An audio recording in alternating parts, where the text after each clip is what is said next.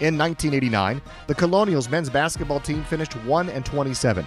In just four years, the Colonials added a new coach in Mike Jarvis, a freshman who would later be an NBA lottery pick in Yinka Dare, and a nucleus good enough to get called to the GW men's first NCAA tournament in 32 years. In 1993, Cinderella wore buff and blue when the Colonials shocked New Mexico and won easily against Southern to make it to the program's first and only Sweet 16. We are going to win this game. We are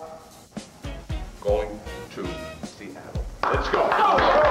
Today, they beat New Mexico. The final was 82 to 68. Joining GW is making its first tournament appearance in 32 years. They down Southern 90 to 80 this afternoon in the West Regional. They reached the Sweet 16 for the first time in the school's history. The Cinderella Colonials now will face Michigan. Oh, it's sweet like chocolate candy. I love this.